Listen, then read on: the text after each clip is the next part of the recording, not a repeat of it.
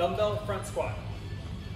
I'm gonna pick up my dumbbells, get in my squat position, so feet generally about shoulder width, toes pointed relatively forward. I'm gonna hold the dumbbells up in a front rack,